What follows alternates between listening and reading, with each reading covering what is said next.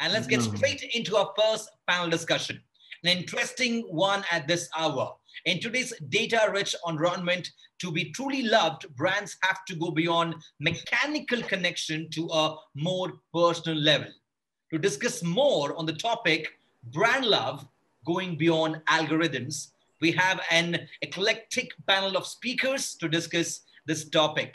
So warm welcome first to our session chair. Please welcome Mr. Ruhail Amin, Senior Editor, exchange4media Group, and also our panelists. Please welcome Amit Sethiya, Head Marketing, Syska Group, Milind Pathak, Chief Business Officer, Route Mobile, Mr. Narayan Sundararaman, Head of Marketing, Bajaj Auto, Mr. Nicholas Kontopoulos again, Asia Pacific Regional Head of Marketing, Adobe DX Commercial, and of course, Simeran Bhasin, Vice President for Brands and New Ventures, Licious. And over to you, Ruhail, for this very interesting brand love going beyond algorithms.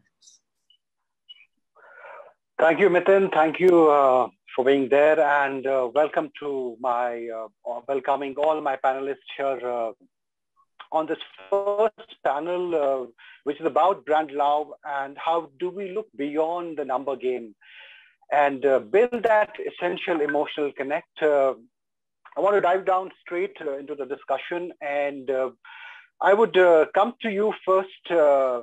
Uh, Simeran, uh, to you first, uh, the only lady on the panel. Um, tell me, uh, we are dealing with, we have spoken so much about data and we have taken it as the, if I may use the word, holy grail of marketing to an extent that nothing, no conversation is complete without referring to big data and algorithms.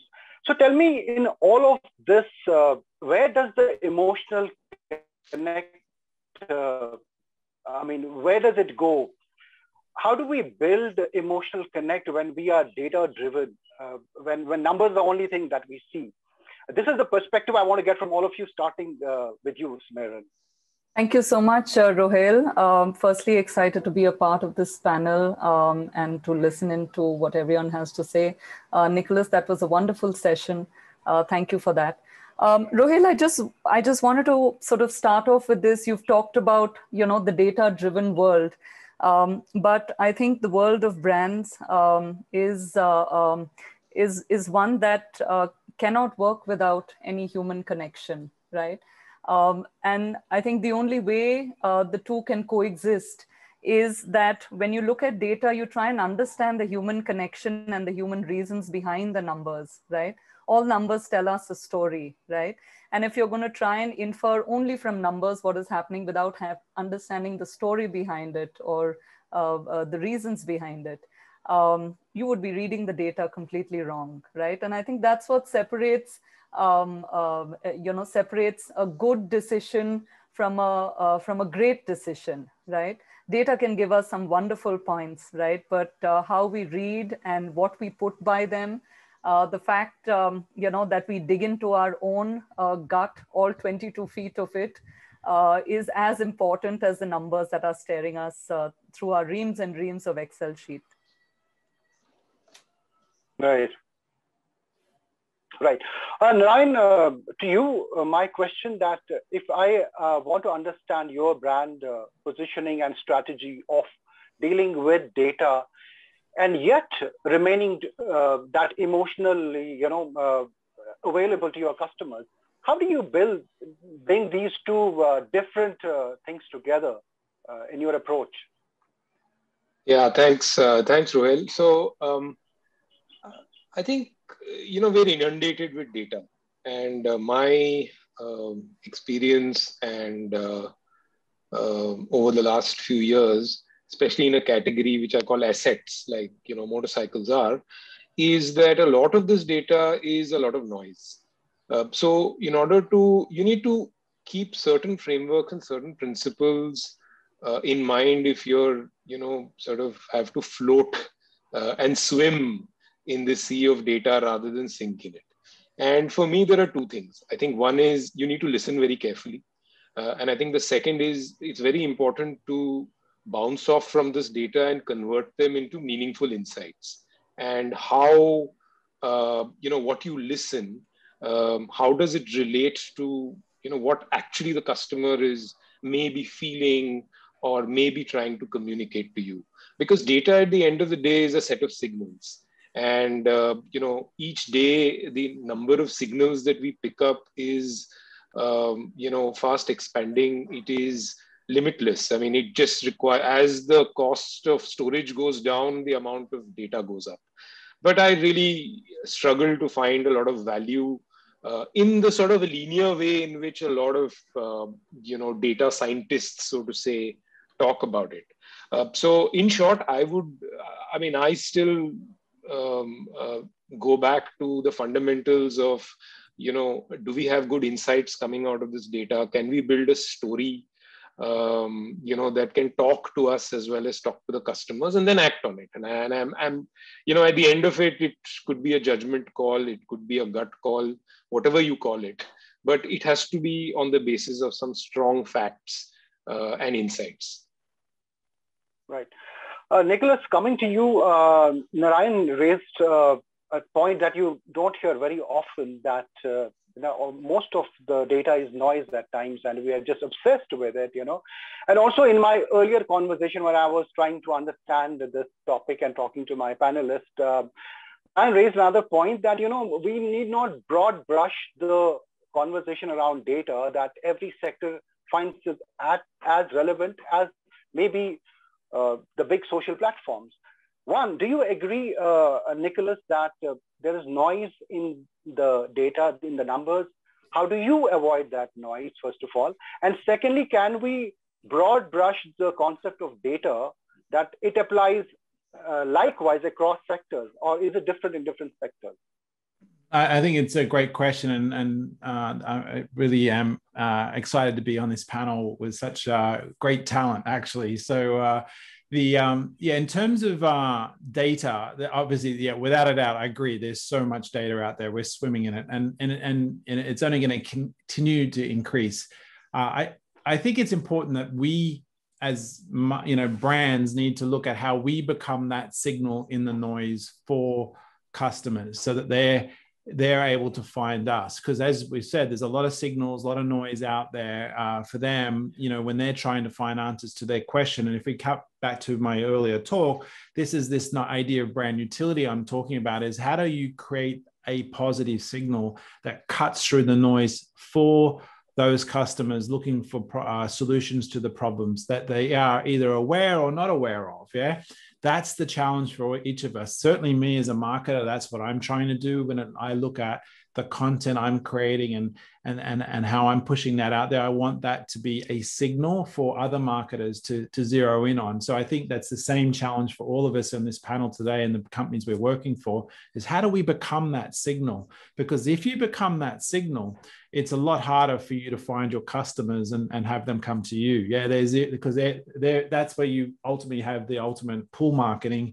uh, working in your favor. You know, they're, they're searching you out. So I, I don't know if my um, the fellow panelists would agree with that, but that's sort of how I would look look at it. Mm. Right, right. Uh, Amit, uh, um, in, in tell me your, I mean, uh, how is your brand positioning as far as uh, data is concerned, and the algorithms are concerned, and uh, how do you inter uh, get those insights uh, into an emotional messaging? So uh, first of all, thank you so much for having me here, and I completely agree with what Naran actually mentioned. You know, as far as data is concerned, see, we marketeers love to make at times. I think, you know, things very complex just because we want to believe that we have done something really meaningful. I think that is an honest confession. Uh, but when you look at the whole story of this brand, uh, so not like we never had data, right? The data was always around, but beyond data, what we had was a strong customer insight. See, data can always, uh, you know, always help you to give insights, but there is always this small, uh, you know, percentage possibility of error that might happen because ultimately data gives you more of assumption as well because you're assuming basis your data, right? But because you have a strong customer insight, I think we were able to really position the brand uh, so strongly in this country. and and and uh, you know the insight was about uh, you know saving money. Because uh, in india you know when it is about saving money everybody gives you a lot of attention you know. And i think that is what the fundamental benefit of uh, led as a product is right? So while i know i'm charging comparatively uh, a higher amount compared to other lighting devices but because i'm talking saving in the long run uh, you know, people are able to believe in my storytelling. That is what even Nicholas mentioned, right? A strong, compelling story needs to be narrated. And I think that is how we have been uh, able to position Syska, um, you know, from the last uh, five to six years beautifully. So I think, yes, I agree again uh, on this very uh, discussion topic that uh, data is important. But how much of data is important is also very important to be considered because it might lead to something which is not really the the true picture of your customer. I want to come to you, Milind, uh, to understand the marketeer's mind here. You know, are marketeers actually obsessed with numbers alone, or where do the customer emotions figure uh, in your uh, estimation when you talk to your friends in the community? Uh, so let me try and take a slightly different take on both the top points, right? The data and the brand experience, which Nicholas so beautifully put in his uh, presentation. By the way, Nicholas, great, uh, fantastic. Would love to get that uh, with that presentation and look at it piece. You just breeze through it.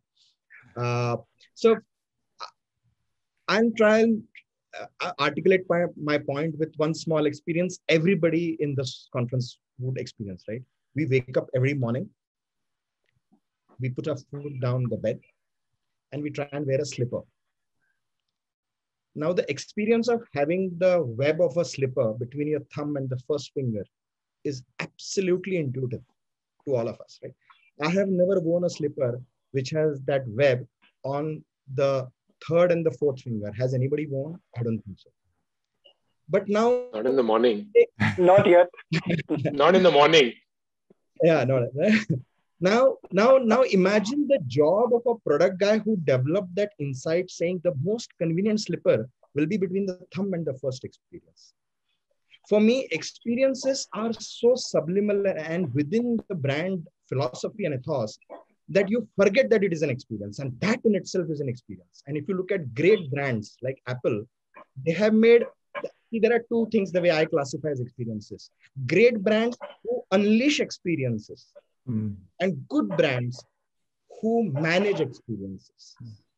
I believe great brands have always unleashed experiences which are so subtle that a consumer does not even know that, oh, I'm experiencing such tight convenience.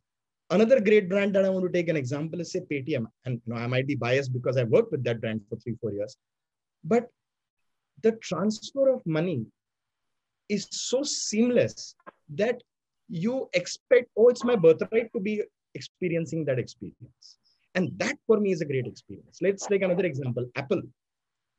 I think it came somewhere in 90s, early 90s when the first laptop came and MacBook came somewhere in mid 2000, 2005, 2006 at that point in time, right? I wonder if Steve Jobs had CDPs and um, and and uh, DMPs to his uh, to his passion points to try and analyze millions of data touchpoints. So he might, oh, customers needed simplifications of laptops. I thought he went on sure consumer experiences, right? Uh, so I think while data is critical, I think we sometimes overrate it. What is very, very critical for me is that subliminal experiences that I'm able to deliver for a brand, right? And I've been forefront of sales, marketing, BD for almost 20, 25 years in my life, right? Great sales guys are not the guys who sell great products. Great sales guys are the guys who solve problems. Hmm. I think problems are solved always by insights and and and, and experiences. Right? And I love the example what Nicholas gave of Singapore. Right? I don't think they picked up from anywhere else. I think they just went on building and they made that experience as a default of experience at an airport. Hmm. And that's why they unleashed a great airport in itself, right? And you'll find this brand after brand, right? And now we as perhaps students of this domain, now we look at them and say, oh, this is how they did it, right? But the art and science of that is going through the experience and maybe modeling a little bit here and there on insights that derive out of the market.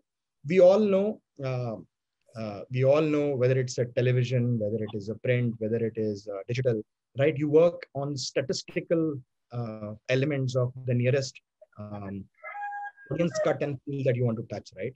You really don't do every consumer. Our holy grail of marketing is personalized communication to, to, to, to every consumer in the world. Um, but you always run it on a statistical proximity of that audience pool, right? Uh, so I think for me, data is important for that statistical probability. Great. Uh, but what really, really, really, really matters is who is thinking to make the experience of the brand so subliminal that the consumer does not even know that it is a great experience and he takes it like his birthright and a way of life.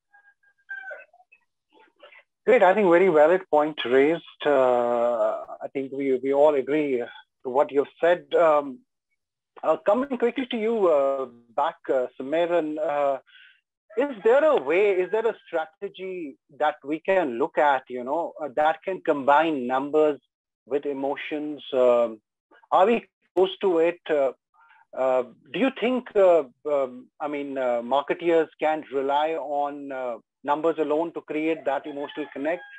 Is there a formula? Is there a science to building numbers, combining numbers and emotions? Yes, absolutely. Um, and and I'm going to take um, uh, I'm going to take Licious' example here, right? When um, uh, Abhay and Vivek, uh, the co-founders, set out almost six years ago now on this. see, the numbers part comes from the opportunity, right? Um, you have a large, um, you have a category, um, and and you have a large size population, and you understand what your consumption uh, in the market is, and you know you've got a large size opportunity, and that's your big data telling you that this entering this category is making business sense, right? Um, now there are multiple choices as to how you enter that category, right? What kind of a brand do you build? How do you position it, right? What is the reasons you give consumers to connect with you, right? And that's the part where if you miss out on the emotion there, right, you will lose a very powerful opportunity to begin your journey on the road, uh, connecting with brand love, right? And here I think they started with a, um, a very, very simple credo, um, right? Uh, their passion for meat and their love for meat is where their journey and, and their shared uh, sort of connection began on the journey with Licious. And uh, um, I think as they started sort of understanding, uh, you know, what the opportunity out there is, uh, some very simple tenets is, is what sort of held uh, Licious in good stead and will continue to do so in the future, right? And these are all the emotional aspects of it, right? Uh, and one very important one that I think all of us live by every single day is that we will not sell what we cannot feed to our own families, right? Now, there's no number to this, right? All our families are what? Four in number, right? Two kids and, uh, uh, you know, two adults. Uh, and that, that's not an algorithm to go by, but it's a very simple tenet that helps each one of us uh, sort of filter every single decision that comes in, saying that, is this the right decision that will deliver the output of a great quality product that I would be comfortable uh, sort of feeding my family? And I think uh, for me, since the time I've come on board Licious, um, I've realized it's simplified decisions so much, right? Uh, whether you look products, um, whether you're looking at how you're going to take communication out there, um, uh, you know, I mean, is, is this, is, am I going to be comfortable feeding my daughter this? And the answer comes immediately. And I think that instinct as a human being comes sort of far, uh, uh, far faster and easier as, as, uh, as a member of the family, as a parent, right? Um, and it's really sort of driven all our decisions to a point where, um, you know, we've I would say one of the really interesting things that I've realized in Licious is beyond the reams and reams of data, you know, customer calls that are coming in, feedback emails that are coming in, and so on and so forth. Um, there's a very simple system where we decided we need to know, even if there's one person out there who is experiencing something a certain way and that experience is not uh, optimal and they're not happy about it, uh, we need to know about it but how do you get millions of consumers to talk to you, right? And it, because by and large, I mean, consumers, if you're happy, you don't say anything because you're expecting a brand to make you happy, right? When you're not happy, you're still not saying anything. When you do actually call up customer care or send them that email to write about a bad experience, you've reached a level that is so high, you're so, so upset and annoyed that you have taken that extra effort to actually go figure out the customer care number and email ID and take time out to send feedback in, right? That's already right. too, right? And a very simple section where all employees today, if any experience, either we have personally experienced with our products or any friend and family member who's more likely to call us, right? Or send us a message and say, hey, Simeran, there was something wrong with your product today. You know, I just didn't like this experience, right? And uh, we feed it in to uh, an email called uh, voice at licious.com, right? And that goes to every senior manager within the company, including the co-founders, right? And gets picked up, gets analyzed immediately uh, because it may be one it may be one data point uh, in terms of one consumer that's had that experience. They, but there could be hundreds and thousands who have simultaneously had a similar experience. So if we can fix that one we know we are anticipating proactively and and Right. creating um, you know an experience uh, improving it before it becomes this big volley that it actually reaches you. Because by the time it gets- gets picked up in research it's already too late Absolutely. I mean, not taking customers so lightly. I mean, reaching out, listening, and proactively trying to understand them. Absolutely. I think these are an- another, uh, this can the layer of understanding to the numbers. Uh, Nicholas, to you, uh, you, know, uh, you know, with this deluge in data, uh, give me your sense of how can technology help marketeers make uh, their strategies more uh, pointed, you know, and perform uh, and their campaigns or their brands can perform better. What is your advice to marketers? Well, te- first advice, which is going to sound counterintuitive for everyone here, for I'm a marketer represents a technology company, but te- technology alone will not solve all your problems. Yeah, I think this is the God's honest truth. And when I talk to leaders, I always say this. Um, in actual fact, I've actually refused to sell my software to uh, businesses that don't really understand what they're trying to solve in terms of problems, because end of the day, uh, you know they, the, the project will fail. You really need to look at people process and technology. And i know it sounds cl- cliche but i think we've heard that today you know from the various panelists that it's really important that we think about how we harness that data. And and ultimately the insights you get require a human input a human element you know of interpretation you know and and through that interpretation will come you know the creative that will lead to the campaign that also the creative idea that will lead to a campaign that ultimately will drive people to a website or to a store. So you need to bring your people, processes, and technology. How do I get aggregate that data across all organizations? So that's then you got to look at knocking down this, the internal silos that exist inside an organization, and you know, marketing and sales and customer service have to come together and unify. Uh, themselves around what they're trying to achieve. So I really say to people, start with looking at um, how you can bring you know the different stakeholders that are going to be needed uh, together around the table obviously uh, make sure you've got the right people you're hiring the right people that can actually um, power that decision making process and without a doubt don't i'm not downplaying technology it's going to be the difference between your um, you know your success or failure in terms of the types of technologies you bring together to, to ultimately translate um, you know, the, the, you know, to deliver on those insights that enable you to address those uh, experience uh, gaps that you might have.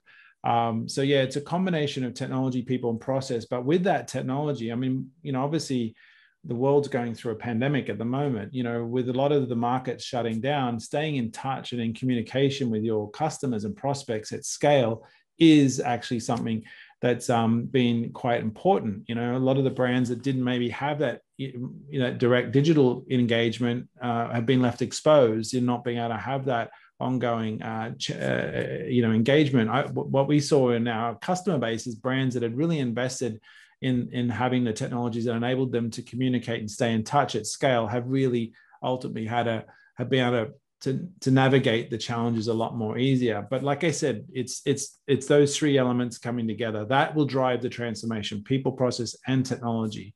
Um, it will help drive transformation not just technology on its own. Yeah Narayan, uh, earlier in my the earlier answer, you went. I mean, it was very interesting to hear you bust certain myths about data. Tell me more about the next layer um, of your conversation. That where does data belong in this entire marketing approach? Have we overwhelmed ourselves with the uh, power of data? Uh, what is the right approach to take to look at data in your view?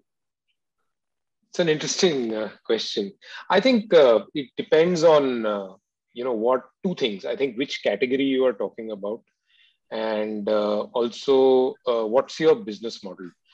Uh, look, if your business model depends on, on on data, then I think you should really really take it very very seriously. When I say your business model what does it depend on? I mean, at the end of the day, as Amit was saying, I mean, you're selling Syska at the end of the day, right? You're selling a set of products. I ultimately we sell a range of bikes. We expect uh, a customer to buy a bike. He's not buying data. Um, so I think it is very important to stay true and do stuff which is, uh, you know, relevant to the category in which you operate and combine it with what drives your business. Uh, I think for a lot of the e-commerce uh, players, um, you know, platforms or social media platforms, they thrive on data, and for them, I'm guessing more data is actually better. Um, I think the watch out as far as uh, you know businesses like uh, uh, say a Bajaj Auto is concerned, where we are selling motorcycles, is not to sort of get overwhelmed by all of this. And uh, I also have this uh, theory that uh, you know uh, all of us have now been educated with what I call a very engineering framework in mind. Our belief from the time you know we've been in school it's always metricized. You know there's a score. The score tells you how bright you are. The score tells you whether you get to a certain you know college or not. So i think we've we, we feel very easy and comfortable with it. And therefore this innate sort of belief that you know data can tell you everything. Uh, but uh, life is not about data. I mean life and you know for example for most of our customers uh, who buy commuter bikes or uh, three wheelers. Uh, life has been very tough in the last one year. Now, if you can imagine, uh, and I have a slightly contra view to, to, to Nicholas and uh, in this that uh, sometimes I think it is better not to sort of reach out to customers.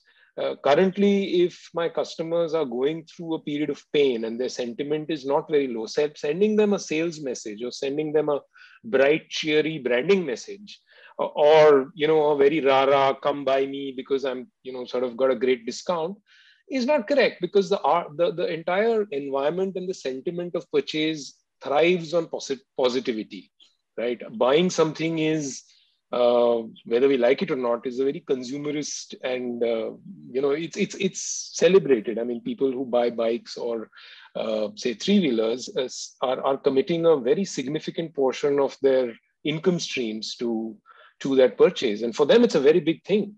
Uh, you know, and if currently the context is that, you know, they're not sort of in the, uh, you know, having a great time in their lives, I really question whether, you know, marketers need to reach out at this point in time. So I'm, a, I'm, I'm, I'm, I'm, I'm not completely in sync with that. I think you need to be in tune with how your customers relevance is very important sentiment is very important um, in, in in categories. And you know right now for a lot of the e-commerce players i think it is uh, it is uh, absolutely the right time to reach out to your customers. So i don't think it's one size fits all. I think to answer your question a lot depends on the category that you operate in and more importantly what's your business model? I think you need to be crystal clear about that yeah, I just I want to definitely jump in, and I agree 100% with your your uh, sentiment there. I, I, think it's more around um, again, you said it really well, knowing your customers and and that and the market segment you're in, but being able to stay in touch with relevant information and certainly not selling. Uh, I agree 100% on that when you're going through a dark time, but more again, like through that notion of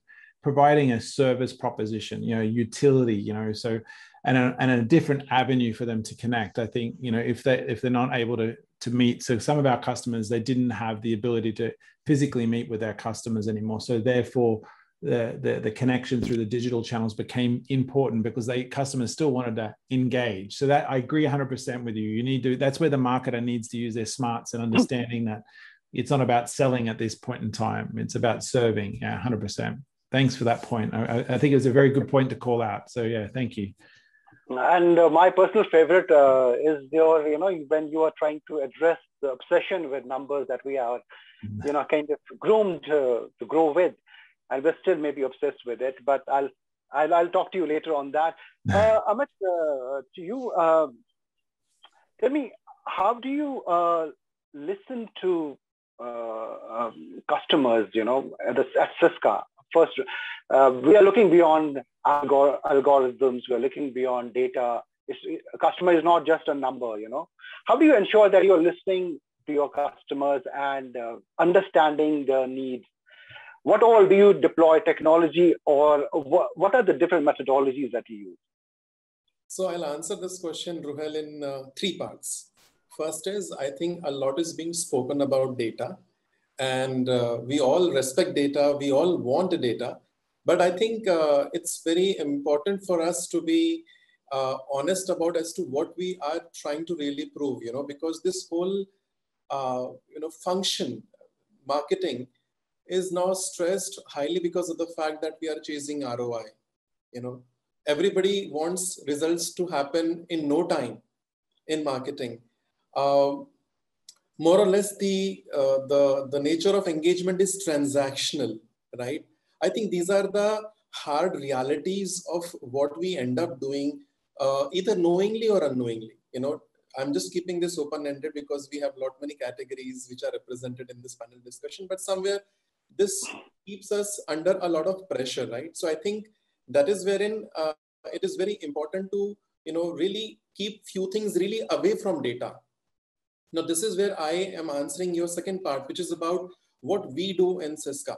So one, one right. part is obviously the data which we have spoken at length right now, but the second part is, um, you know, is, is, is your offering is able to cut through what is being required genuinely and organically by the customers, right? Because I want to sell you something and you have to buy is not going to work. And, and more so in this category, imagine, which is almost like a commodity. A bulb is a bulb is a bulb. At the end of the day, it's a bulb, right? And it has got no organic engagements. Like imagine all of you guys, you will not even remember how many bulbs are there in your own, own home. What all brands are you guys using? what all wattages these products are actually representing within your house, right? Nobody's aware about it, but everybody wants to talk great things about it, right? And that is where the whole importance comes that while your data is talking and backing you up, you need to also go and check the ground reality by talking to your customers, right? Um, I remember uh, there were a lot of interesting programs that we did. You know, in uh, example, we had the Syska Your Home Your Home campaign, where we actually went to the customers, like not the customers, but the prospects, right? And we actually spoke to them. Uh, we had our own technical devices in place, which actually showed them as to, you know, if, uh, you know, they replace their existing, uh, you know, lighting devices by any LED. I'm not plugging Syska, by, by any LED product, what kind of saving will come to them, right? and and they were able to believe that whole experience because it was happening right in front of their eyes and this is something which is very very credible right so it's not only about saving money which is obviously the bigger proposition but also the experience that we created and i think these are some of the very key things that we adopted you know way back uh, when we started the journey because of which uh, we became today what we became right so I think that's where the magic lies. Uh, that you know you need to have a great insight. You need to go and talk to your customers, and uh, and be honest. I think that's more important. Uh, absolutely, absolutely. Um, I know Mr. Narayan has a. I'm sorry, hard stop at four o'clock. I want to come to you before I come to Milind. Uh, Narayan, tell me, you know, there is another thing happening that uh, machines, though we know, are not great at reading emotions, but uh, there is a concept that algorithms are being designed to understand and predict emotions. Through, of course, right now they are not doing a great job because they depend on facial expressions, which human beings, of course, can mask. Tell me, in future, do you see algorithms, you know, uh, itself uh, understanding, becoming emotionally intelligent as well? Sorry, your audio is muted. Sorry uh, I was saying that just hearing that was I was uh, going back to several science fiction novels that I've read about uh, you know I think uh, Philip K. Dick and Arthur C. Clarke and the rise of the Minority machines, etc. Minority Report from Tom Cruise also is the same. Yeah, yeah, yeah, that's right, that's right. So look, I mean, I, I think um, uh, I, I think we we all will be more surprised at how dumb artificial intelligence and machine learning is right now compared and yeah maybe it has great potential etc etc but uh, you know and that's where i think it is. I have i mean it shows a lot of promise uh, and a lot of potential but i don't think it's been actualized at present. Now in the future and let me boil it down to say uh, very sharply into um, say marketing and communication development world right I think a few years ago, I read an article saying that there's a Japanese agency which had, where you know they'd replace the creative directors with um, with some kind of an artificial intelligence algorithm, and I don't know what happened. So I was reading this story, and I was talking to my agency uh, partners and my you know my friends in the creative department. And if I just sort of look back at the end of the day, I think it will still be in the in the realms of science fiction. I think the ability for humans to sort of connect with others um, and understand uh, and then translate that to something that the other persons can sort of relate to uh, is a very uniquely human um, human ability. Uh, so I, I think it will take a long, long time for this to be replicated completely. Uh, there's always the chance that may happen that something good will come out of it. But um, uh, if I was to understand your question right, I don't see an algorithm completely replacing all elements of the marketing system. Uh, certainly, uh, you know, when you have to rec- where you have to recognize patterns, where you know you have data regarding behavior that customers or uh, people are, you know, exhibiting, they are sending out signals. I think spotting those patterns absolutely, and what is sort of known as a kind environment, I think uh, um, I can expect the algorithm to really do a very good job. But you know, the minute it comes to unkind environments, as they call it, where things may be very volatile, where things will be very uncertain, you you know don't know how. Um, uh, you don't know how uh, people's reactions will be, uh, or they may change. Uh, I, I, think uh, human intervention will, or human uh, ability will always trump an algorithm uh, with regards to the creative process. Perfect. Thank you so much. I know you have a hard stop at four. Uh, uh, thanks for joining us today. Yeah, I'm sorry to cut out, but I have a very uh, I have a meeting that I need to attend. So it was great uh, meeting all of you, uh, my co-panelists, and uh, thank you, Ruhail. I'll thank be signing so out now. Ryan, Bye. and I want to go to Milind. Thanks. Uh, Milind, your thoughts on this? uh, can the coming together of uh, can this puzzle be sorted if you have the you know algorithms and the emotional intelligence merged into one? So um, if i have to really crystal ball gaze i think yes. I think the issue is time. Um, if 50 60 70 years ago somebody would have said oh you can carry a phone um, anywhere uh, from india to us and just speak seamlessly with any person anywhere in the world, maybe people would have laughed at that idea, saying, oh, come on, you need a you need a physical line, you need a dial-up connection, and so on and so forth, right?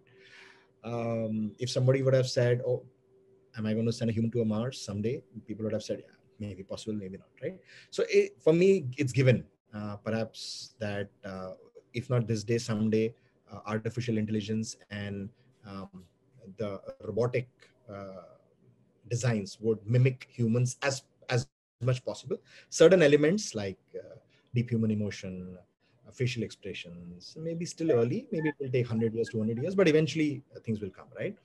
Uh, we ourselves are in a communication space and we ourselves actively work on processes and technology which replace humans. Uh, what I mean is, let's take a simple example of a contact center solution, right? Uh, all of us as brands have contact centers.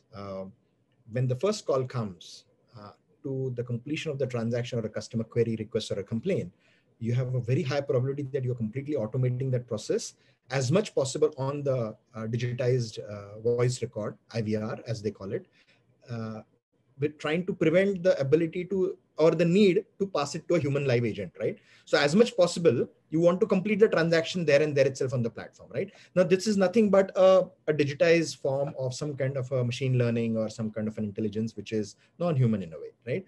Uh, I agree with Narayan that on certain areas, uh, the evolutions are early, uh, but I think we will evolve uh, and become more and more sharp, right? Uh, mind you, I'll also give a context to uh, context to certain human element, right? While technology is very critical and there are chances of we being um, we being replaced uh, at active work scenario by robots does exist, right? But look at India, right? We are such a unique country. You go to Nariman Point, in any building, you have a lift or as they call it, elevator, but then you have a liftman sitting outside whose job is to pick you up from a ground floor and take you to every floor around there. Now, this is very unique to India, right? Uh, I think human interventions will never be removed, but the possibility of certain tasks being robotized is very, very high. And that's for me is a clear win for an artificial intelligence that you don't make humans redundant, uh, but you try and remove some tasks so that you still make humans relevant in some other area right? I hope i have been able to give you a perspective on both. But as far as india is concerned imagine if tomorrow someone comes and says oh you know 60% of your population is going to be replaced with with robots there'll be social riots because how will you feed these right so you have to be very careful uh, uh, you have to be very careful of a evolution of the technology um, evolution of um, uh, our race as it goes along using some of these technologies. And, and one has to be really, really careful. It has to solve problems. And the purpose of that is not replacement. The purpose of that is augmentation. And I think that has to be uh, clear. And there are projects, papers, uh, researches being done on ethical use of artificial intelligence and so on and so forth. I think that's something for some other topic, but but I guess we need to be right. very right. path very, very carefully. Yeah. Absolutely. So I have exactly nine minutes. I want to come with one round of questions. First to you, Nicholas. Uh, you know, in our earlier connect yesterday, you raised a point around, uh, you know, beyond moving beyond personalization to individualization. You know, uh, yesterday. Uh, tell us more about it. This sounds very interesting. Uh, uh, give me a sense of what you meant by it, and to all the panelists. Recording in progress. Sorry, the audio is muted. Yeah,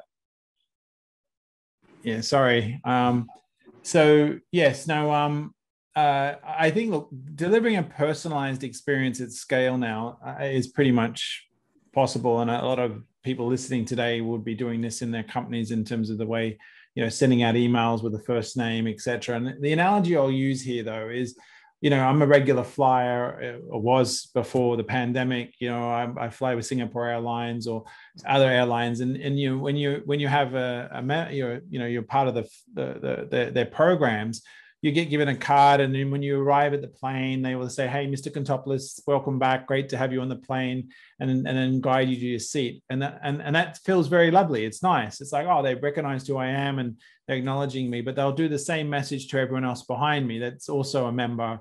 You know, you know, has status. Yeah, that's a great example of personalization at scale. It's not really unique. It's the same message, the same experience being delivered. It just gives you that sort of momentary uh, feeling of you know importance, I guess.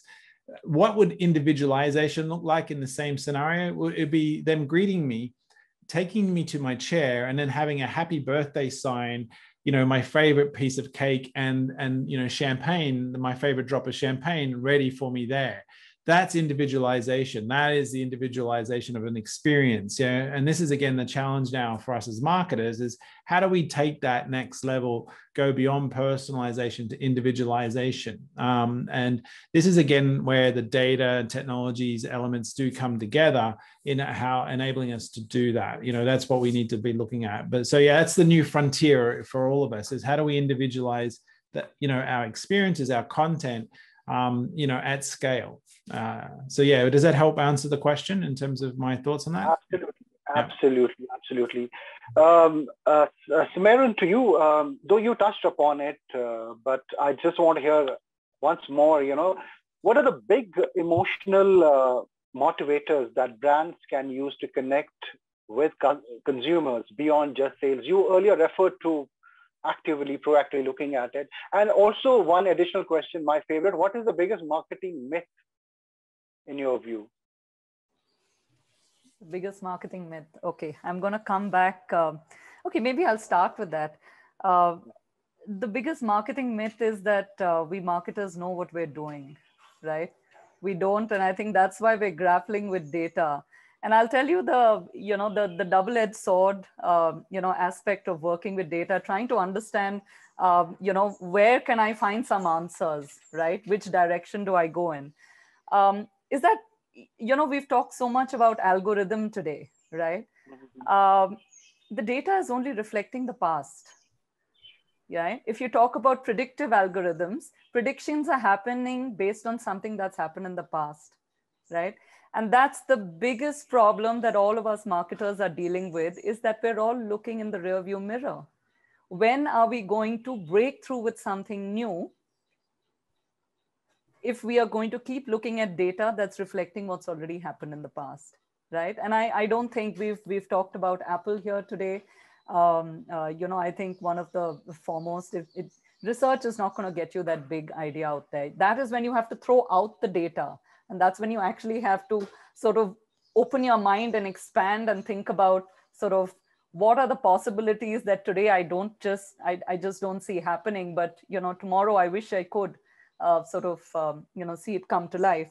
And uh, throwing those crazy ideas out there um, or, or throwing sort of uh, um, uh, thoughts out there that connect human beings right um, and and I think one such connection, uh, you know, that that I don't think started with the data point or an algorithm was perhaps something that all of us are. Apologies, that's one of my three dogs. You're going to keep hearing this barking as I talk, but um, you know, Facebook, right? I, I, I think it just started with the simple human emotion of staying connected. Um, uh, I'm, I'm not getting, getting into the backstory of sort of where it sort of uh, uh, other sort of reasons that sort of uh, told its origin story, but uh, it was a, it's a simple connection. It's a human connection, right? you've also touched upon Ruhail and asked about what are the different emotions that marketers can use, right? Um, I think love is, uh, is a very powerful one, but uh, right on the other extreme, fear is an equally powerful one, right? Uh, uh feeding on the fear of what would happen to your loved ones, for example, right? Uh, and insurance sort of works on that fear, right?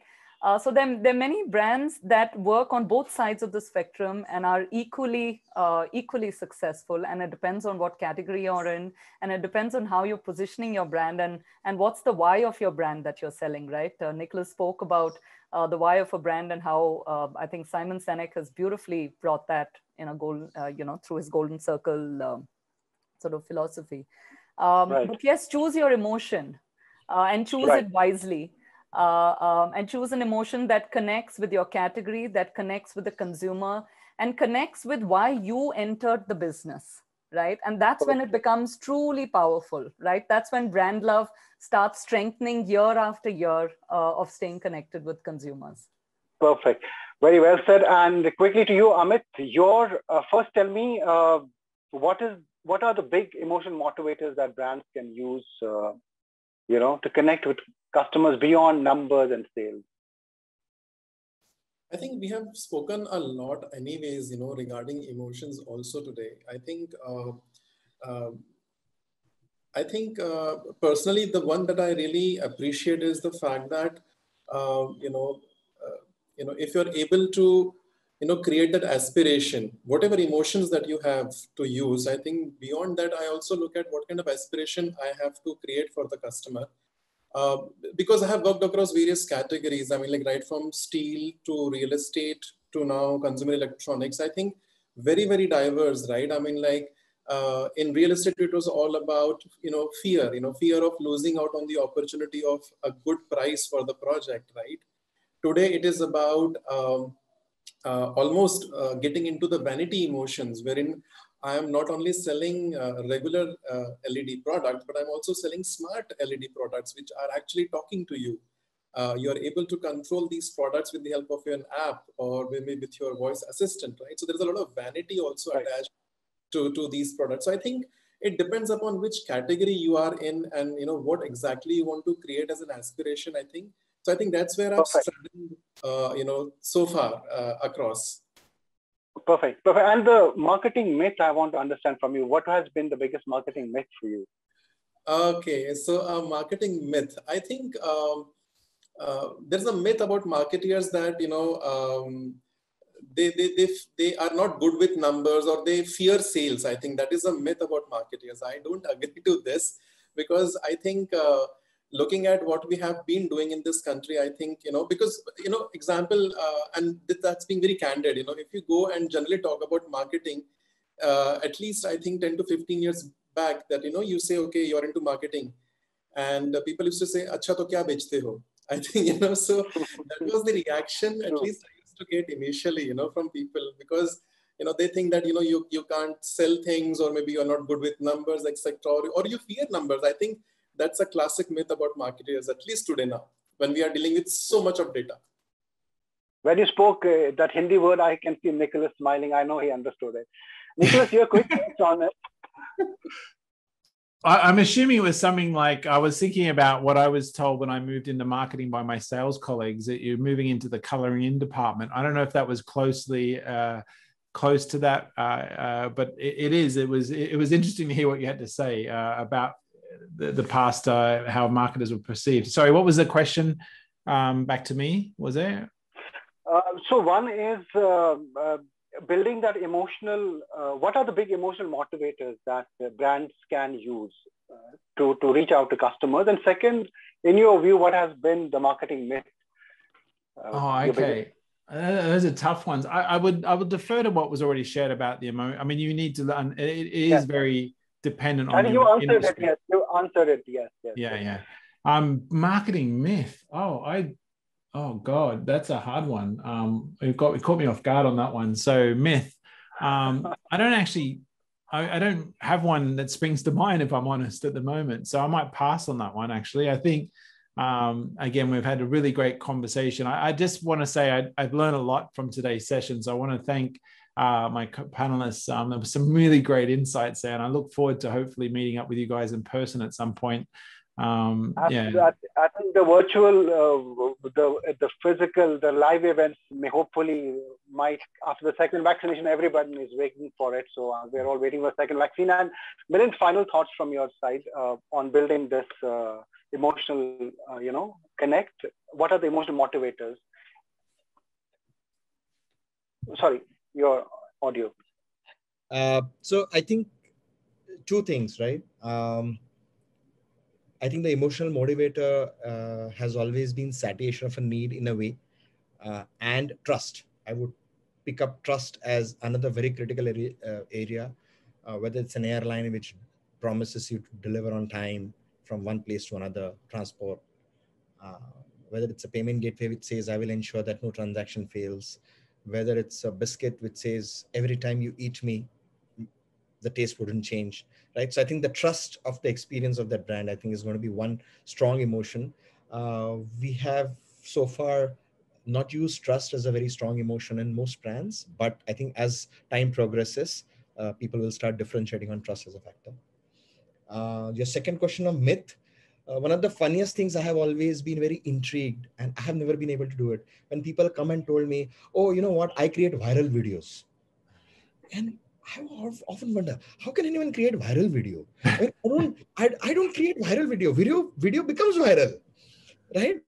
Like Kolaveri, no one thought said, "Oh, I will create Kolaveri because I want it to be viral across millions and millions of users." Right? It's just ah. it's just it's something people pick up, right? So for me, creation of a viral video is the biggest marketing myth, which any marketer comes and tells me, an agency comes and tells me, "Oh, my job is to create viral video." I said, "Thank you very much." Let's catch but we are living in viral times, actually, metaphorically. But thank you so much for uh, joining us today. It's been great. I wish we had more time, but we're overshot already. Uh, thank you, everyone, uh, for being there and sharing your valuable insights. Thank you. Thank, you, Thank you, Thank you. Bye-bye. Bye bye.